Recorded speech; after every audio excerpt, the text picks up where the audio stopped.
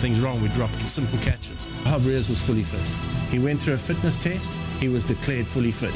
Okay, he performed poorly today, but he had a role to play. We, and I'll take, I'll take the blame. Me, I'll take it. I selected him.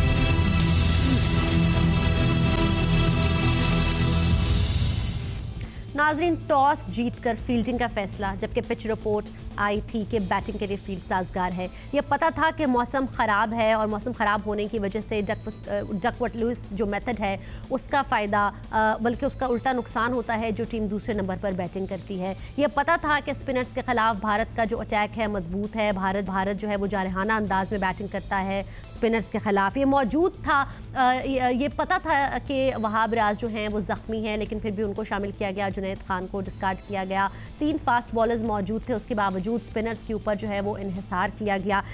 یہ ساری چیزیں دیکھتے ہوئے یہ سوال ضرور اٹھتا ہے کہ کیا بھارت کے ساتھ شکست پاکستان کے مقدر میں لکھی جا چکی ہے؟ بھارتی ٹیم کے ہاتھوں پے در پہ جو ہمیں شکست ہوتی ہے کرکٹ کے میدان کے اوپر، کیا یہ ہمارا مقدر ہے؟ یہ یک طرفہ کھیل آخر کب تک ہوتا رہے گا؟ اسی پر ذرا ہم بات کریں گے۔ جنرل ریٹائرڈ توقیر ضیاء صاحب نے مجھے جوائن کیا ہے۔ چیئرمین، پی سی بی، کسی تعارف کے محتاج نہیں۔ جنرل صاحب، بہت شکریہ آپ پروگرام میں وقت دینے کے لیے۔ جنرل صاحب یک طرفہ مقابلے کی روایت آخر کب ختم ہوگی اور بھارت بھارت کے ہاتھوں پے در پہ شکست۔ کیا ہو جاتا ہے سر ہمیں؟ Where do we go wrong دیکھیں ایک تو اس کی معروف اس کی ہائپ اتنی ہوتی ہے کہ پاکستان اور انڈیا کا مقابلہ تو ایشیز سے بھی زیادہ یہ لوگ کر دیتے ہیں۔ وہ ایسے لگتا ہے جیسے وار ہو رہی ہے۔ اور تو وہ چونکہ ہائپ ہو جاتی ہے تو اس کی وجہ سے نرز بھی جو ہیں ان کا اسٹرانگ رہنا بہت ضروری ہے۔ اور جب آپ کی پلاننگ نہ ہو اور آپ کی ہر شعبے میں آپ کی ناکامی ہو تو بڑا مشکل ہے کہ آپ کسی کے ساتھ مقابلہ کر پائیں۔ اور لیکن سر ہائپ تو دونوں طرف ہوتی ہے جنرل صاحب ہائپ تو دونوں طرف ہوتی ہے بھارت تو مقابلہ کر جاتا ہے یہ ہم ہی کے مقابلے میں پیچھے رہ جاتے ہیں۔ دیکھیے بات یہ ہے کہ ایک پلان ہوتا ہے نا۔ اب آپ جب میدان میں اترتے ہیں تو جب تک آپ دشمن کو سمجھتے نہیں ہیں کہ اس میں کیا خامی ہے اس میں کیا اس میں اچھائی کیا ہیں اتنی دیر تک اس کے مطابق آپ پلان بناتے ہیں۔ اور میرے خیال پاکستان نے اس کا کوئی پلان نہیں بنایا تھا کوئی اسٹریٹجی نہیں تھی اور ہینڈلنگ بھی بہت خراب تھی اور تینوں شعبے میں ان کی کارکردگی بہت خراب تھی۔ سر کیا ٹاس جیت کر فیلڈنگ کا فیصلہ درست تھا؟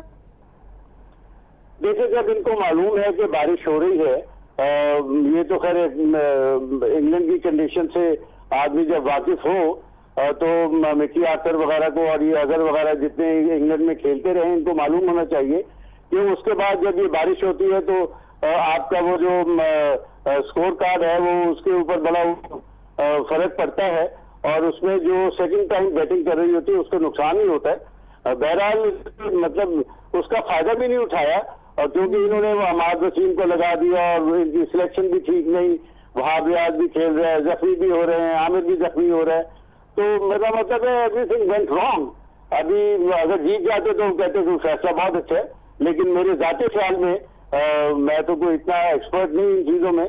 بہرحال میرے خیال میں اگر میں ہوتا تو میں پہلے بیٹنگ ہی کرتا۔ جل صاحب کوچ نے ساری ذمہ داری لے لی ہے اور وہ یہ کہتے ہیں کہ دو سیریز جیت کر یہ ٹیم آ رہی ہے تو اس کی تزلیل نہ کی جائے۔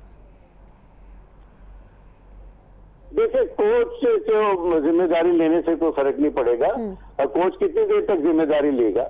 اور بات یہ ہے کہ لڑانا تو کپتان نے ہے اندر۔ آپ اس کو شروع سے پاکستان ڈویژن کو شروع سے دیکھیں نا۔ آپ نے ایک ایسا کپتان بنایا جو کہ تینوں فارمیٹ میں ہے وہ ینگ ہے ٹھیک ہے بہت اچھا ہے اس میں کوئی شک نہیں۔ لیکن آپ دیکھیں کہ اس کے ساتھ کون لوگ کھیل رہے ہیں۔ اور ایک اس کو اس کو بھی ایک دباؤ ہے۔ ایک انڈیا کے خلاف دباؤ ہے ایک اپنے سینئرس کا دباؤ ہے۔ اور اس کو وہاں سکسیڈ کرنا اس کے لیے بڑا مشکل بن جاتا ہے۔ اور اگر مٹی آرسر صاحب ہر چیز میں اگر انٹرفیئر کریں گے کپتان کی اس کے اسٹریٹجی میں تو میرا خیال کام تو نہیں چلے گا۔ کپتان کو کپتان کے اوپر چھوڑ دینا چاہیے۔ اور فیلڈ میں تو کپتانی جواب دے ہے مکی آرتھر تو جواب دے نہیں ہے۔ ناٹ اونلی دیٹ سر یہ مکی آرتھر کا یہ فیصلہ تھا کہ وہاب ریاض کو despite the fact that he was injured team میں شامل کیا جائے اور جنید خان کو بھی جو ہے وہ اس, اس وجہ سے ان کو شامل نہیں کیا جا سکا۔ یہ فیصلہ کیسا تھا سر ایک انجرڈ پلیئر کو شامل کرنے کا؟ دیکھو معروف بات یہ ہے کہ اگر یہ کامیاب ہو جاتا تو سب اس کی تعریف کرتے۔ بہرحال میں یہ سمجھتا ہوں کہ وہاب ریاض بہت سارے بہت پچھلے مہینوں میں اس کی کارکردگی وہ نہیں رہی جو رہنی چاہیے اور اس کی فٹنس بھی شاید لیول وہ نہیں ہے۔ اور جب آپ کے پاس لوگ موجود ہیں پہلے تو آپ یہاں سے سہیل خان کو نہیں لے کے گئے۔ آپ نے جنید خان کو نہیں کھلایا۔ آپ نے فہیم اشرف کو نہیں کھلایا۔ آپ نے بہت ساری غلطیاں کی۔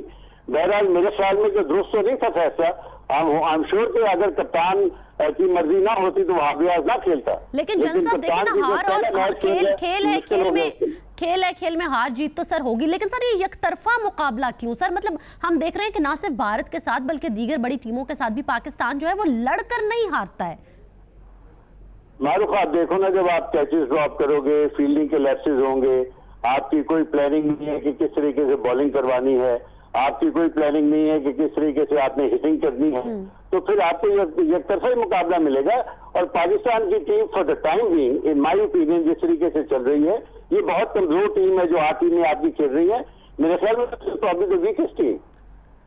Definitely the weakest team اب تو بنگلہ دیش سے بھی نیچے ہم رینکنگ میں ہیں سر آئی سی سی کی۔ لیکن سر کہیں اور پلاننگ ہو نہ ہو، نجم سیٹھی صاحب کو پلان کر لیا گیا ہے۔ پی سی بی کے چیئرمین تعینات کرنے کے حوالے سے انہوں نے نجی ٹی وی چینل سے جو ہے وہ استعفے کی خبریں بھی منظر عام پر آ رہی ہیں۔ کیا اس فیصلے سے پاکستانی ٹیم اپنے پاؤں پر کھڑی ہو پائے گی؟ دیکھو معروف بات یہ ہے کہ نجم سیٹھی صاحب جب بات کرتے ہیں ٹی وی کے اوپر تو ان کے پلانس تو بہت اچھے ہوتے ہیں۔ پہلی بات تو ہماری پرابلم یہ آئی ہے کہ ہمارے یہ فیصلہ نہیں ہو پایا کہ کون چیئرمین ہے کیونکہ دونوں چیئرمین جو ہیں وہ اپنے آپ کو سمجھ گئے اور کافی ایک دوسرے کے کاموں میں میرے خیال میں نجم سیٹھی صاحب اگر ایک آدمی چیئرمین ہوگا تو ان کو پلان ان کا دیکھنے گا کہ وہ ان کا فیوچر پلان کیا ہے۔ دیکھیں کوئی بھی کرکٹ جو ہے کوئی بھی ادارہ جو ہے وہ شارٹ ٹرم ویژن کے ساتھ لانگ ٹرم ویژن کے بغیر نہیں چلتا۔ بالکل ٹھیک بالکل ٹھیک۔ آپ سوچنا پڑے گا کہ آپ نے شارٹ ٹرم میں لانگ ٹرم میں کیا کرنا ہے۔ اور اس کے مطابق آپ اپنا کام کریں۔ بالکل ٹھیک۔ سابق chairman Pakistan cricket board general tight Tauqir Zia کر رہے تھے۔ ناظرین پروگرام ملاحظہ کرنے کے لیے آپ لوگوں کا بہت بہت شکریہ۔ چاہے